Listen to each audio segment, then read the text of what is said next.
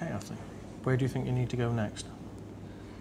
Uh, I think I'll start off by writing a log and then I'll try and cover, like, write a log on all the tools I used. Yep. We have one-to-one reviews every month basically with our training coordinator. So basically he sits down and has a look at NVQ, how far we got, and he basically sets targets for us each month. Yep. It's their NVQ. They're in charge of it. They're running it. So it's their time frame to a certain degree. They have other reviews, which are monthly reviews, but hopefully they're mature enough to realise they've got to achieve these targets. Cover that in. Yep. And I could put the pictures in which I took back from Yep. Robin. Yeah, you can. I think Andy's main mission was to point me in the right direction in, in regards with my NVQ. And the one-to-one review is helpful to reflect on the job we've done, and it helps me to uh, see what I need to cover in my NVQ really. There should be a few points I can cover there. Like, I think there's some stuff about replacing damaged and defective components. Yeah. So that So even only the job was, it wasn't Yeah. a, a greatly technical job, it still manages to cover quite a few points, doesn't it? there's bearings and seals there as well. So Yeah. cover that. Carrying out plan maintenance again was Yeah, plan again, you've that, maintenance. yeah. Working with others. Yeah. working with others Yeah, as well. and working with Matthew, yeah, and Robin. Carrying on condition monitoring, I don't think that's anything to do with that. That's electrical maintenance, so nothing on that. Okay, That's about it, I think. yeah, good.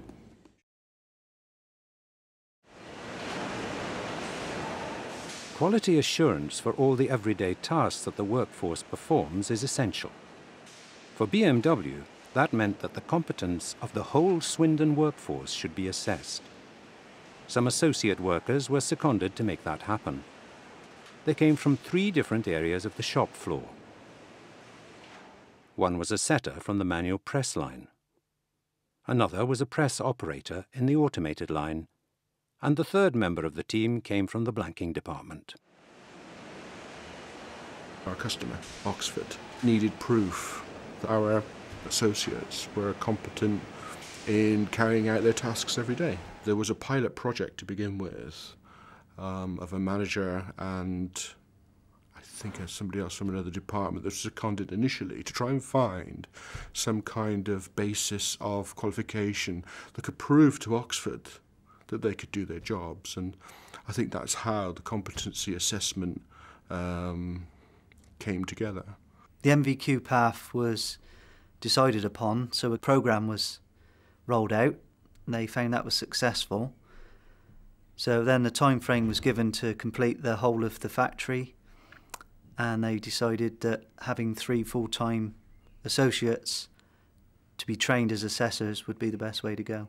because it had the backing of the senior management, this enabled that the three of us who made up the team were taken off our jobs on the shop floor and put into the assessment role full time, which was the only way, feasible way it could happen.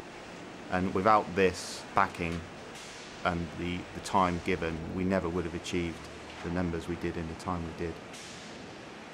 So what we did, we looked at the whole process. We looked at the things that they did that was common to their jobs and collected things like SPC sheets because everybody did an SPC sheet. Uh, we collected like um, guard sign-off cards, which was what half of them were expected to do.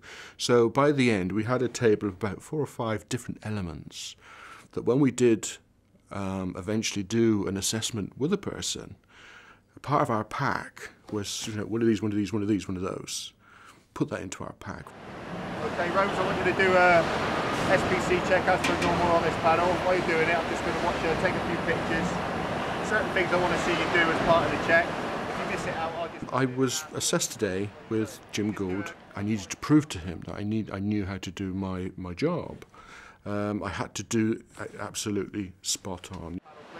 What I tend to do firstly, I look at the OK panel first to see the um, level of OK um, to the quality specification.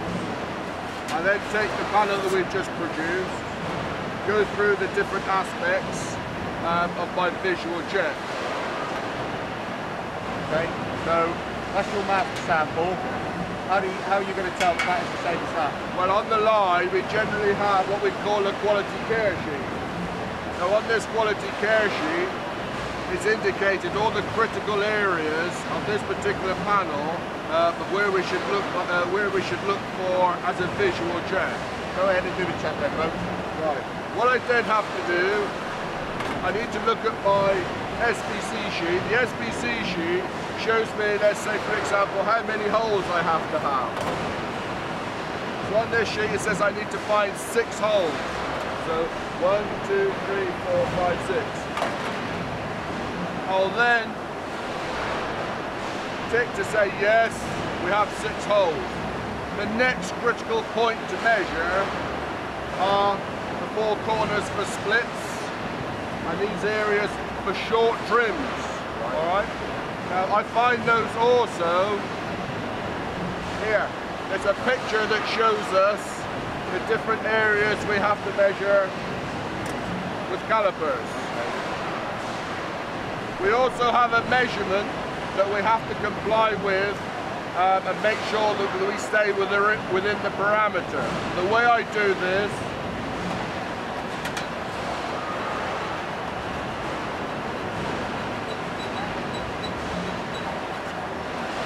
trained you how to use that? the team leader. Once I do the critical point, when I do the check, on here is that measurement of that particular check. How do you know that that's all right at that measurement? I know that's all right, Jim, because that's the, what it says on the SPC sheet. What do you do if, if you get a measurement from the caliper calipers It's outside of the tolerance allowable or that tells you on the SPC sheet? If it's below the minimum respectable um, measurement, I then have to inform the team leader, who will probably stop the line.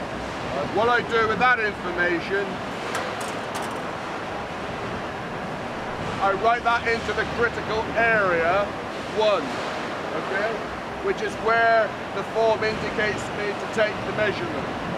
Okay, sheet.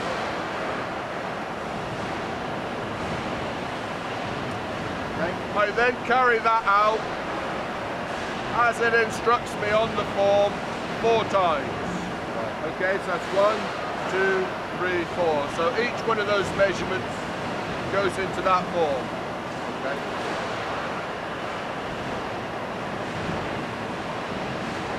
So you, do you actually place that panel on top of the other one and compare flange lengths and things like that? How do you know, in my mind, that looks a bit out of shape there. How do you know that that is acceptable? Well, we know that acceptable by, by like you say, Jim, putting that on top of uh, the other panel to make a comparison, or by experience, Jim.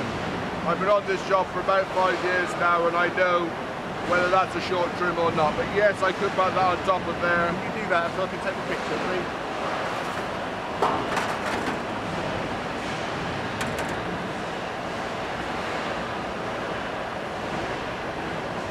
That's fine, Jim.